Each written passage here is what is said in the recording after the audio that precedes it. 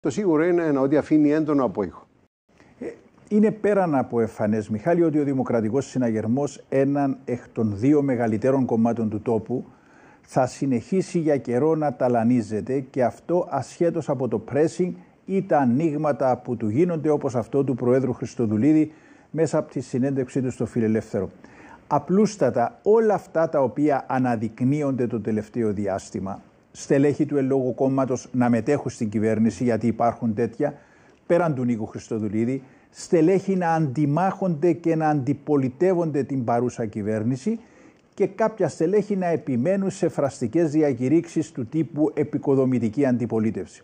Όλα αυτά τι σημαίνουν, ότι ο Δημοκρατικός Συναγερμός από τις ιδρύσεως του και εντεύθεν στέγασε πρόσωπα διαφορετικών προσεγγίσεων και πολιτικών καταβολών και ασφαλώς προσωπικότητες όπως αυτή του ιδρυτού του Γλάφκου Κληρίδη ήταν ικανές να συνενώσουν αυτές τις διαφορετικές τάσεις και προσεγγίσεις.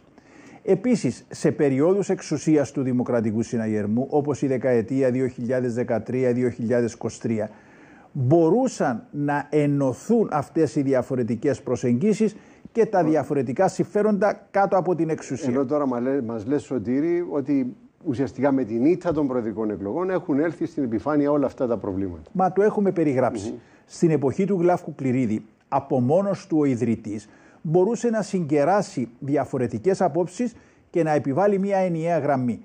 Τώρα έχουν αναδειχθεί διαφορετικές προσεγγίσεις και πολιτικές. Κάποιοι μετέχουν ήδη στην κυβέρνηση Χριστοδουλίδη.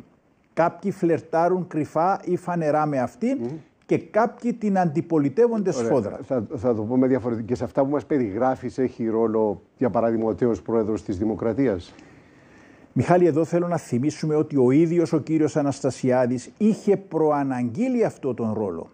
Αν θυμάσαι, στη συνέντευξη που παραχώρησε στο ΟΜΕΓΑ τον περασμένο Δεκέμβριο, ο κύριος Αναστασιάδης είπε χωρίς υπεκφυγές ότι επιφυλάσσει ρόλο στον εαυτό του για μετεκλογικές πρωτοβουλίες που θα στοχεύουν στην ενότητα της παράταξης. Δεν ξέρουμε πόσο πετυχαίνουν αυτές στην πράξη. Στην προηγηθήσα συνέντευξη του κυρίου Αναστασιάδη στο Φιλελεύθερο ήταν δεικτικός πάντως. Μίλησε αν θυμάστε για προσπάθεια δημιουργίας άλοθη και μετακύλησης ευθυνών ισόμους άλλων εντός του ιδίου του κόμματος. Ποιον ή ποιους εννοούσε άραγε; Σήμερα επανήλθε με δήλωση υπόμνηση για το τι είπε στην πρόσφατη ερώτηση που του υποβλήθηκε για συμβουλή που θα έδιδε στους Νίκο Χριστοδουλίδη και Ανίτα Δημητρίου.